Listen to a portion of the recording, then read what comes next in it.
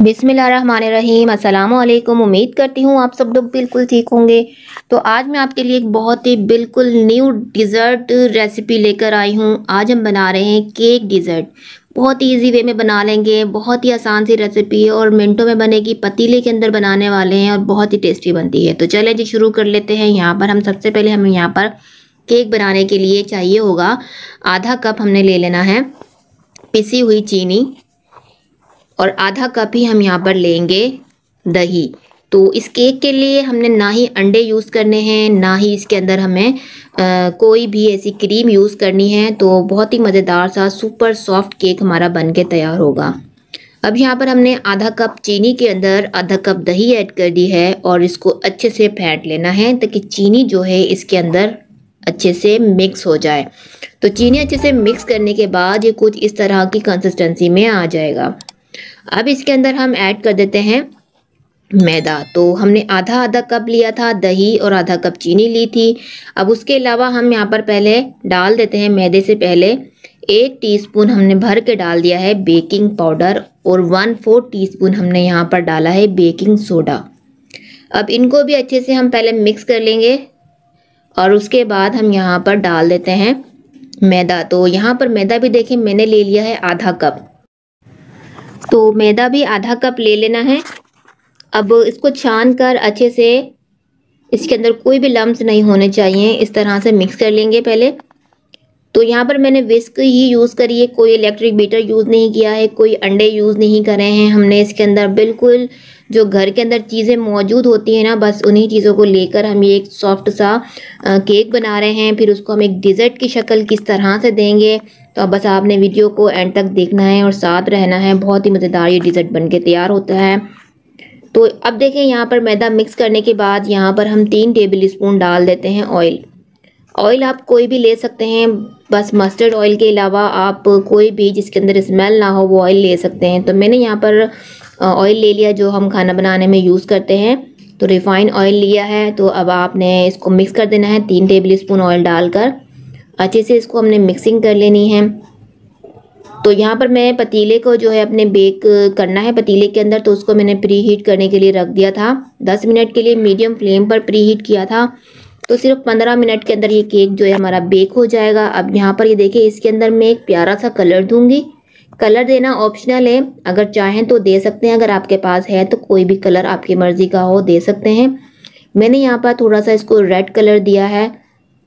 तो देखिए, यहाँ मैंने इसको मिक्स कर लेना है कलर देने के बाद भी तो ये देखिए, ये कुछ इस तरह सा हो जाएगा।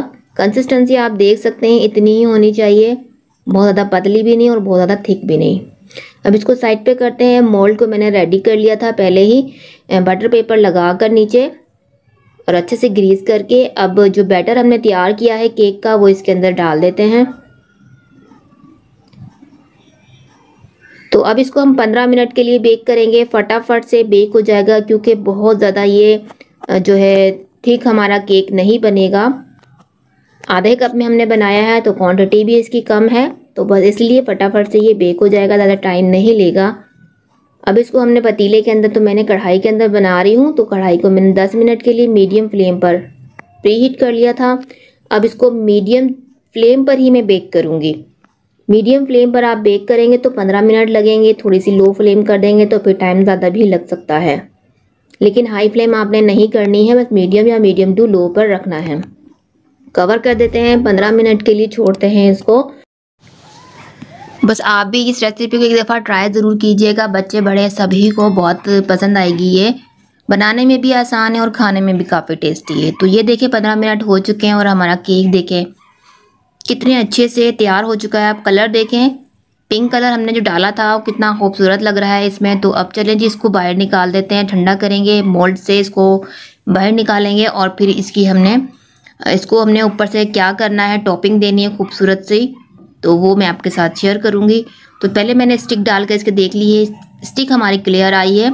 बहुत ही अच्छे से ये बेक हो चुका है। तो अब इसको ठंडा करके डीमोल्ड कर लेते हैं। तो छोटी सी आसान सी रेसिपी है, बनाने में भी आसान है, बस पंद्रह से बीस मिनट लगेंगे और आपकी ये रेसिपी जो है मिनटों में तैयार हो जाएगी। आप वैसे भी बना के खा सकते हैं, आप अपनी बर्थडे पार्टी वगैरह पर भी इसको बना सकते हैं, मेहमानों के आगे भी इसको रख सकते हैं, ईद वगैरह पर भी आप इस डिज़र्ट को बना सकते हैं, काफ़ी टेस्टी लगेगा और काफ़ी खूबसूरत भी लगेगा रखा हुआ। बिल्कुल लुक में ऐसा लगेगा जैसे हम कोई मिठाई वगैरह खा रहे हैं, कोई डिज़र्ट खा रहे हैं, केक ये कहीं से भी नहीं लगेगा। बस आपने केक को अच्छे से ठंडा कर लेना है, केक ठंडा हो जाएगा, उसके बाद हमने उसके ऊपर की टॉपिंग करनी है। टॉपिंग के लिए हमने यहाँ पर वाइट चॉकलेट ले ली है।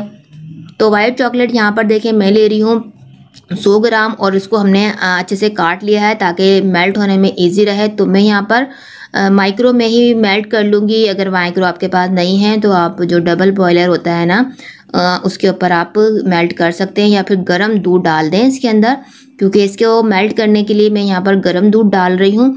तो दूध ज़्यादा गर्म नहीं था तो इसलिए मैं थोड़ा सा इसको माइक्रो में भी चला लेती हूँ। तो ये देखें, अच्छे से ये मेल्ट हो जाएगी तो मेल्ट होकर ये थोड़ा सी लिक्विड फॉर्म में आ जाएगी। तो फिर इसको हमने इस केक के ऊपर से डाल देना है। तो बहुत ज़्यादा अगर पतली लग रही हो आपको तो आप चॉकलेट और डाल दें या फिर थोड़ी सी देर इसको फ्रिज के अंदर रख देंगे। तो फिर इसकी लेयर जो केक के ऊपर डलेगी ना तो थोड़ी सी थिक होकर डलेगी। या फिर केक को आप जब फ्रिज में रखेंगे ठंडा होने के लिए तो फिर ये खुद ही अपने आप सेट हो जाएगा।